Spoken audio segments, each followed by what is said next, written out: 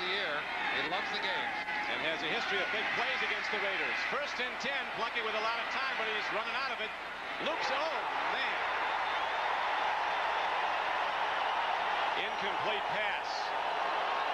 Marcus Allen still on the ground after that devastating shot. Think he isn't tough. He's up. This is the physical nature of this rivalry. Man. You said it earlier, they don't like each other.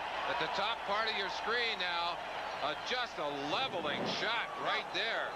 Mecklenburg, crack. Another shot right there. Karl Mecklenburg, who's played both defensive line and linebacker. He just absolutely